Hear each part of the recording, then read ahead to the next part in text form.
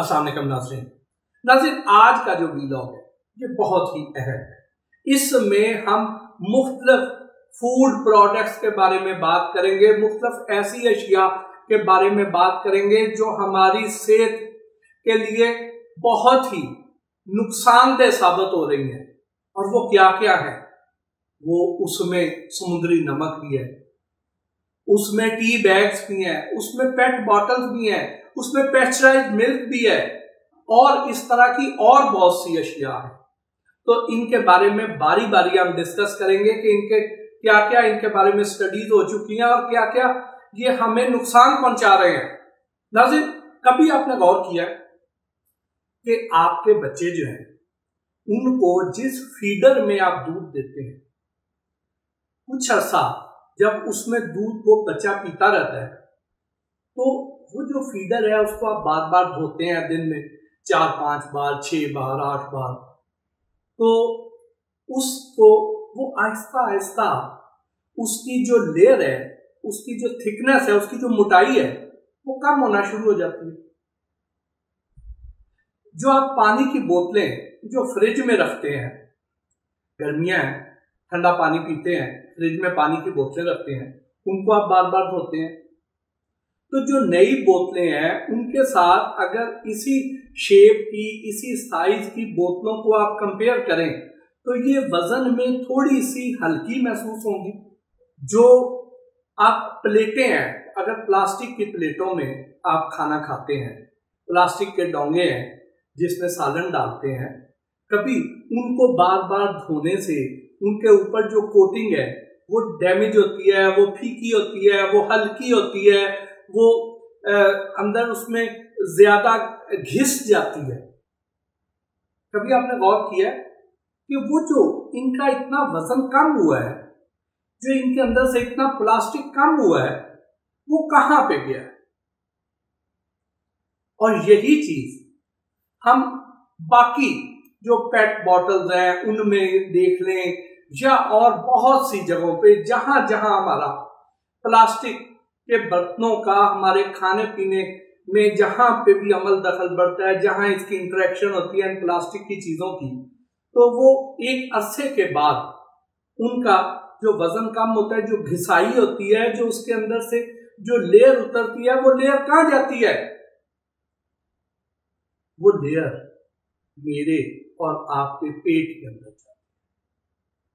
जी हाँ इस वक्त दुनिया को ह्यूमन सेफ्टी को जो सबसे बड़ा खतरा है, वो है माइक्रोप्लास्टिक्स आप देखें कि जो कुदरती जो धातें थी, वो अल्लाह ताला ने बनाई हुई थी। वो हमारी सेहत के लिए उतनी नुकसानदेह नहीं थी।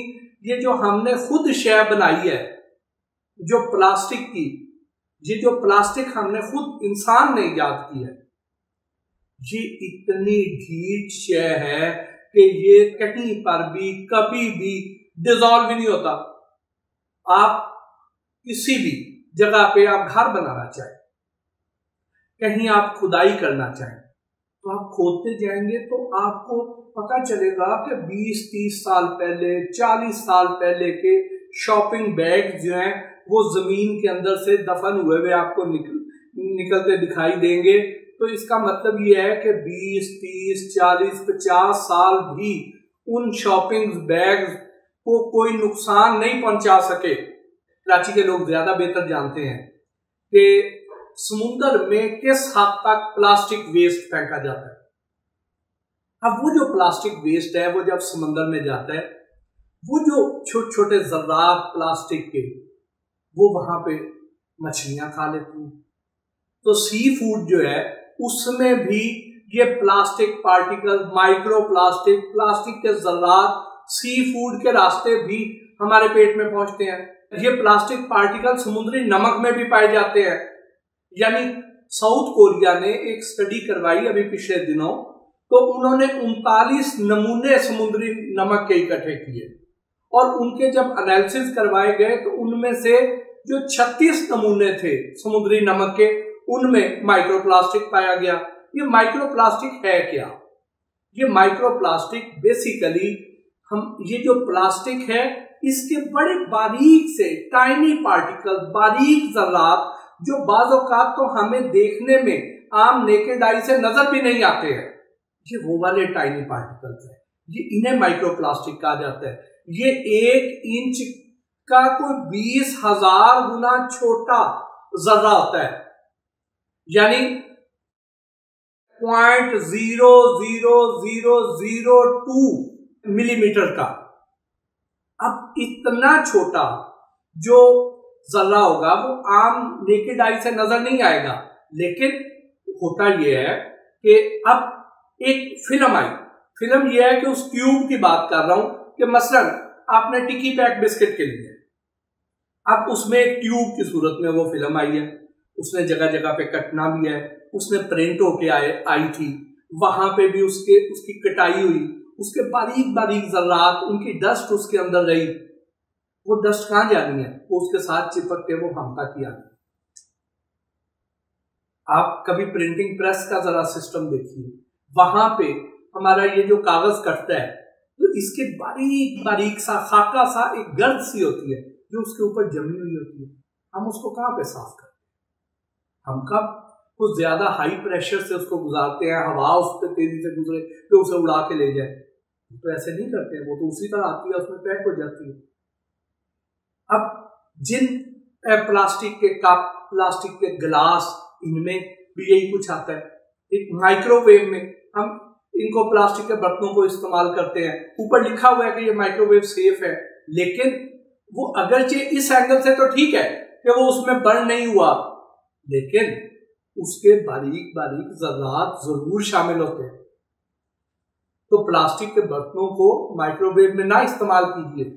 बहुत सी आपने ऐसी प्लेटें देखी होंगी, जिसमें हम अगर खाना गर्म करें, मुख्तफ ऑफ़िस में, मुख्तफ घरों में कि हम ओवन में गर्म करते हैं तो उसके अंदर ऐसे उभार आ जाते हैं, ऐसे थोड़े से निकल आते हैं, फूल जाती है तो वो क्या होता है? उसके अंदर डिकम्पोजिशन शुरू हो चुकी होती है। उसके अंदर तोड़ फोड़ का अमल शुरू हो चुका होता है और वो तोड़ फोड़ के अमल से जो बारीक बारीक जरात है, वो ऐसा ऐसा हमारी खुराक में शामिल होते जाते हैं। आप देखिए कि टी बैग, आज से कुछ अर्सा पहले जो टी बैग आया करते थे, उसमें से ये शिकायत आती थी कि ये घोलते हुए, अंदर उसमें कैवा बनाते हुए ये अंदर फट गए हैं। तो उसका उन्होंने हल ये निकाला कि इसके अंदर पोलीप्रोपिलीन जो है, वो भी एक खास तनासब के साथ शामिल कर दें। कि अब वो फटता नहीं है टी बैग लेकिन नीदरलैंड ने जो टी बैग पर स्टडी करवाई तो पता चला कि ऐसे टी बैग्स हैं जो पोलीप्रोपिलीन के, जिसमें ग्यारह इशारिया छ अरब माइक्रोप्लास्टिक अंदर मौजूद थे। यानी ग्यारह इशारिया छ अरब की तादाद थी माइक्रोप्लास्टिक के जरात की उन टी बैग्स में। तो इसी तरह पेट बॉटल्स पर स्टडी करवाई गई। इसी तरह दो नमूने लिए गए पेट बॉटल्स के, जिसमें से कोई 240 के करीब नमूनों में ये माइक्रोप्लास्टिक के जरात पाए गए। तो अब बात फिर वही आ जाती है कि ये प्लास्टिक के जो जरात है, ये कहाँ कहाँ से हमारे अंदर नहीं आ रहे हैं? नीदरलैंड में ये एक स्टडी हुई। 22 लोगों के खून के नमूने चेक करवाए गए। उसमें से 17 लोगों के खून में ये माइक्रोप्लास्टिक के जरात पाए गए। अब हमारे खून में, हमारे फेफड़ों में, सांस की मदद से हमारे फेफड़ों में, खून जो है, खून में अगर ये इसके जरात चले गए हैं तो खून कहाँ कहाँ जाना है? हमारे दिल में से गुजरना है, हमारे गुर्दों में से गुजरना है, हमारे जिगर को तो इससे नुकसान पहुंचाना है। तो ये कहाँ कहाँ पे उसके सुराख बंद करेंगे, उसके अंदर ब्लॉकेज पैदा करेंगे, उसको डैमेज करेंगे, आप सोच सकते हैं कि ये कितना बड़ा थ्रेट है हमारे लिए। तो हमें इसका हल क्या है? इसका हल ये है कि हमें ग्रेजुअली हमें वापस नेचर की तरफ़ आना चाहिए। हमें शीशे के बर्तन इस्तेमाल कर चाहिए। हमें मिट्टी के बर्तन इस्तेमाल कर लेने चाहिए स्टील के कर लेने चाहिए, लेकिन चीनी के कर लेने चाहिए, लेकिन प्लास्टिक से हमें आहिस्ता आहिस्ता दूर निकल जाना चाहिए। एटलीस्ट हमारी जो खाने पीने की अशिया है, उसमें प्लास्टिक का इस्तेमाल नहीं होना चाहिए। आप देखिए, अब तो कोई सेवेंटी, एटी परसेंट घरों के ऊपर जो पानी की टैंकी है, वो भी प्लास्टिक की है तो कहाँ कहाँ से हम इससे बचेंगे? हमें इसकी हौसला शिक नहीं करनी चाहिए। हमें आहिस्ता आहिस्ता इससे बाहर निकल जाना चाहिए। क्योंकि जो दूसरी अशिया है, वो डिजॉल्व हो जाएगी। वो खत्म हो जाएँगी। वो हमारे मेदे के अंदर जाके भी खत्म हो जाएँगी। लेकिन ये जो अशिया है, ये प्लास्टिक तो ऐसी नामुराद है कि ये डिजॉल्व ही नहीं होता। आप तजर्बा करके देख लें। आप आज खुदाई करें किसी भी शहरी इलाके की जहाँ पे कहीं कूड़ा फेंका जाता रहा खुदाई करके देखें तो पता चलेगा कि यहाँ कुछ चालीस, पचास साल से जो मिट्टी पड़ी हुई है, उसके अंदर से भी आपको ऐसे शॉपिंग बैग निकलेंगे, ऐसे प्लास्टिक के पीस निकलेंगे, जो गलेंगे ही नहीं। और बजाय हम इसकी हौसला शिकनी करने के, हम क्या करते हैं? कि हम गरम गरम रोटी लेते हैं और शॉपिंग बैग में डाल के ले आते हैं। हम गरम गरम बिरयानी लेते हैं, वो प्लास्टिक के कंटेनरों में ले आएँगे। हम गरम गरम सालन लेंगे, वो प्लास्टिक के कंटेनर पे। और वो शॉपिंग बैग में लेके आ जाएँगे। गरम खोलती हुई चाय लेंगे, गरम खोलता हुआ शोरबा लेंगे और वो प्लास्टिक की थैली में डाल के ले आएँगे। तो हम इस तरीके से कदम कदम पे ऐसे अशिया हैं जहाँ से ये माइक्रो प्लास्टिक हमारी खून में शामिल होते चले जा रहे हैं। ऐसे वर्कर जो ऐसी इंडस्ट्रीज़ में काम करते हैं, वहाँ पे उस फजा के अंदर मौजूद होते हैं। आप कभी नोट करें कि एक ये कमरा है, कमरे के अंदर एक रोशनदान है। जब रोशनदान के सामने सूरज आता है तो एक गोल सा, एक पाइप नुमा एक हाला कमरे के अंदर रोशनी का आता है। और उस रोशनी को आप अगर गौर से देखें कि बाकी कमरे की रोशनी डिम है, और उस वो वाली जो सूरज की रोशनी का एक पाइप, एक हाला अंदर आ रहा है, उसके अंदर आपको अरबों की तादाद में बारीक बारीक जरात नज़र आएँगे। जो नॉर्मल आप जैसे ही लाइट बराबर कर देंगे, वो आपको नज़र नहीं आएँगे। तो क्या इसका मतलब यह है कि वो जरात खत्म हो गए? वो खत्म नहीं हुए। सिर्फ़ हमें नज़र आना बंद हुए। इस फजा में, जो देखने में बड़ी साफ़ सुथरी है, इसमें वो है ज़रूर, सिर्फ़ हमें नज़र नहीं आ तो इस तरह, यही माइक्रोप्लास्टिक जो इतने बारीक है, ये इस फजा में भी मौजूद है। और बर्तनों में, इन अशिया में जिनका कांटेक्ट हमारे खाने पीने की अशिया के साथ है, उसमें तो हाथ दर्जे ज़्यादा है। तो इसलिए खुदारा, आहिस्ता आहिस्ता इससे बाहर निकल आइए, अपनी और अपने बच्चों की सेहत को महफूज बनाइए। इसके साथ ही आज के इस वीलॉग से अपने मेजबान मौसम भट्टी को इजाज़त दीजिए। अल्लाह